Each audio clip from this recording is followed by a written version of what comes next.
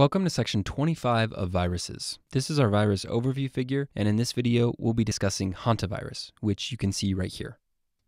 This scene will take place just outside of a haunted house. Haunted house sounds like hantavirus, which will be our symbol for this virus. Notice that we've used warm colors in this image to help you remember that it's an RNA virus. We've also shown some rain clouds off to the side of the house to help you remember that it's a negative sense virus. If you look at the left side of the house, you can see a helical shaped staircase, which is to help you remember that it has a helical shaped capsid. All right, now focus on the entrance to this haunted house. Notice that it's circular shaped, which is to help you remember that hantavirus has a circular shaped RNA structure. Now you can see that we've added two excited kids that are ready to go into this place. Let's zoom up on them so you can see the details better. Notice that the girl on the right has a candy bar in her hand. We introduced this symbol in the last two videos, and it's in this one as well to help you remember that hantavirus has three segments to its genome. If we look at her friend on the left, we can see that she's holding a hot dog bun in her hand. Bun is our symbol for bunyaviruses, so this should help you remember that hantavirus is a member of the bunyavirus family. Also notice that she's wearing a shirt of China on her back, and this is here to help you remember that hantavirus is more prevalent in China. All right, now notice that we've shown the gatekeeper to this haunted house. Let's also zoom up on him so you can see things better. First, notice that he's in a rodent costume. After all, this is a haunted house, so it makes sense that people are dressed up in interesting costumes.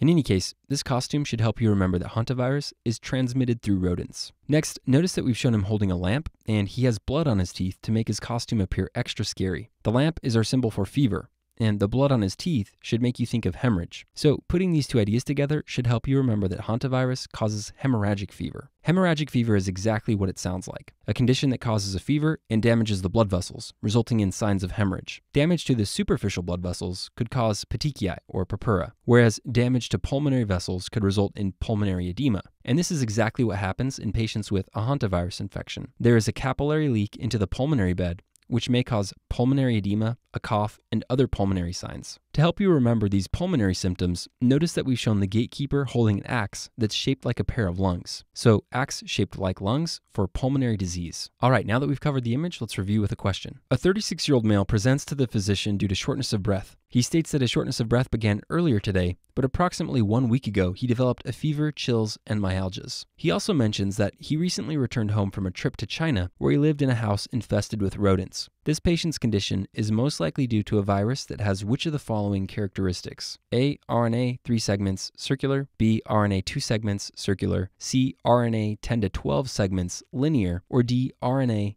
eight segments linear. Okay, hopefully from the question stem you notice that this patient had shortness of breath after a trip to China where he lived in a house infested with rodents. This triad of findings is highly suggestive of hantavirus, so the correct answer is A. RNA, three segments, circular. Recall from the image that the color schematic should help you remember that this is an RNA virus. The circular entrance right here should help you remember that the RNA structure is circular. And the chocolate bar with three segments right here should help you remember that there are three segments to the RNA. B is a reference to arenaviruses. Lassa fever encephalitis is an arenavirus that is spread by rodents but doesn't cause pulmonary symptoms. It causes encephalitis. So B is incorrect. C is referring to reoviruses.